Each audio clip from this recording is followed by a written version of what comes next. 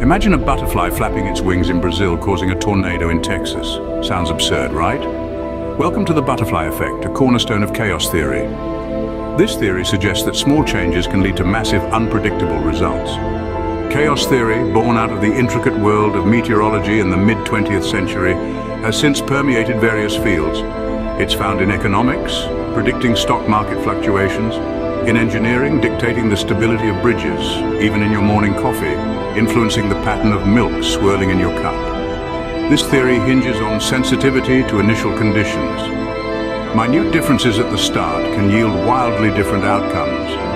It's like life's unpredictable dance, choreographed by the laws of physics.